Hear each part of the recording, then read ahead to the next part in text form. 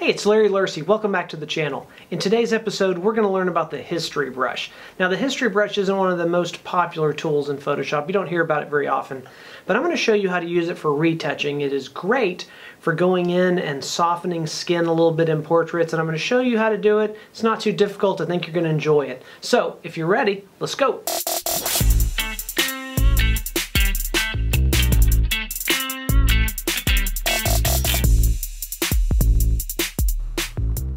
Okay, so first a little bit about the history brush. You can find the history brush over here uh, by this little, it's the brush with the uh, little arrow looping around it, and Y is the hotkey for that. And you've got a history brush. You want to make sure you don't confuse it with the art history brush. We're just working with the history brush today. So the way the history brush is originally designed is basically we've got an image here. We're in our history palette, which by the way, if you don't have that, you come up here to Windows, History, and make sure that's checked. But we're going to come down here and hit this little camera, and what we've done is basically taken a picture, a snapshot, as you can see right here. So then what we can do is we can do whatever we want to this image. We can go ahead and adjust the levels. We'll make it um, way too light. We'll go um, hue saturation and we will bring the saturation way down. We can even uh, go under blur, Gaussian blur, soften it a little bit, whatever we want to do. Like that, so we've kind of wrecked this image. However, it's all still sitting here in this snapshot, so all we have to do is select this as our source, choose the history brush. I've got it here at 100%, and we can basically paint back in what was there originally. And obviously tons of different uses for how you might want to uh, to use this. But eventually you could paint her all the way back and you'd have everything right there. There's other ways of doing this that work much better but it is kind of a fail-safe of that you've got the original image sitting over there as a snapshot. So now that we understand basically what the history brush is doing, I'm going to show you a way that you can use it to retouch an image. Okay, so now that we have an understanding of basically what the tool does, I'm going to show you how we can use it to do a little bit of retouching, basically soften the skin. You know, in an image like this, we're getting an awful lot of detail here. We're starting to see pores, some little blemishes kind of along here, through here.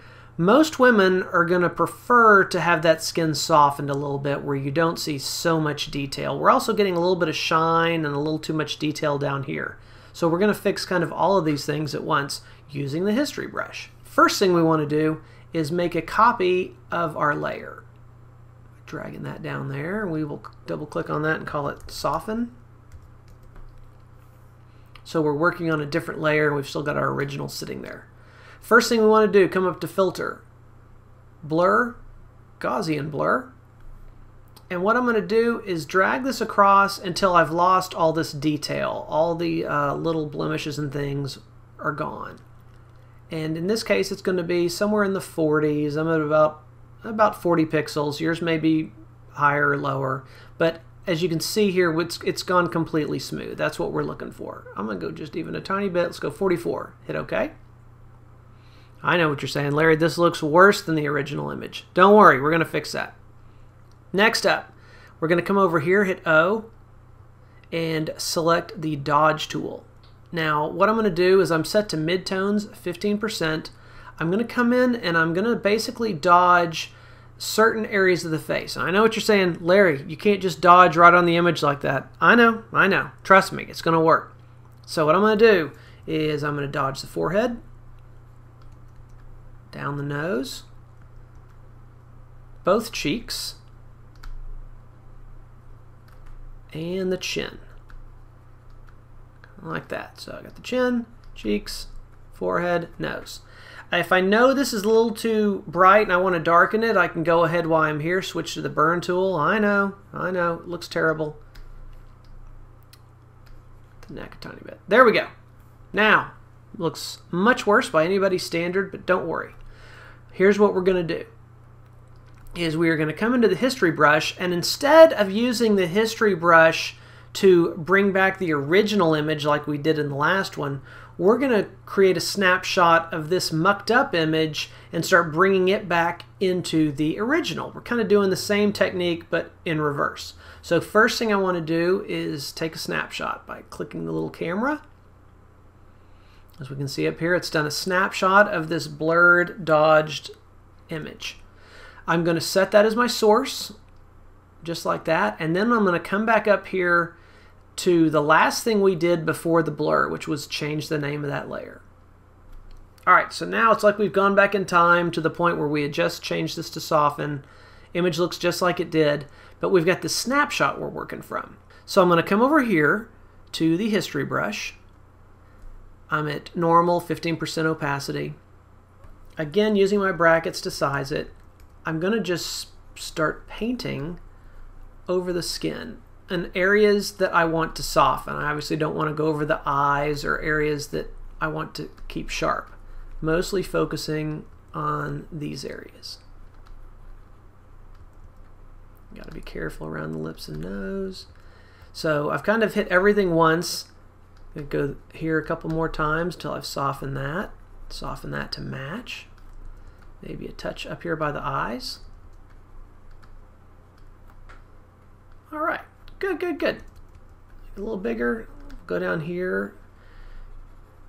The chest and neck, which is not only softening, but also darkening it just a touch because we had dodged over that. Okay, so there we go.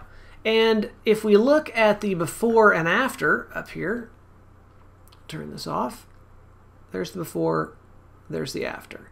So it's given her a little bit of a glow, definitely softened out the skin, there's the before, after. Now what it can do is it can flatten things a little bit and so while she does have a little bit of a, a nice little glow to her and the skin looks softer, you would probably want to come back in uh, to dodge and burn using a gray layer or whatever your technique is for dodging and burning to bring back a little more of the sculpting of the face because a byproduct of this is it will flatten things out a bit. But overall, we've really softened the skin and uh, the beauty of having it here on its own layer is if we do this, the next day we come back and look at it and we go, oh man, I went too far on this. Uh, she, she looks like a doll now or something. Well, it's very easy. We just come here to the opacity, drop that down a little bit, and it's a much less noticeable effect. So that kind of gives you some options of adjusting it afterwards. Just kind of a quick way to overall soften the skin and add just a little more nice softness to the face and really works well as something to have in your workflow for a quick little thing to do to a headshot like this. So what did you think about retouching with the history brush? It's pretty easy to do and you can get some really nice results. Leave me a comment below and let me know if you've tried this before, if you think it might work with your workflow. If you have any questions, feel free to ask, and otherwise, make sure you click the subscribe button and ring the little bell so you know when we have more content coming out. That's it for this week. I will see you soon. Take care. Bye bye.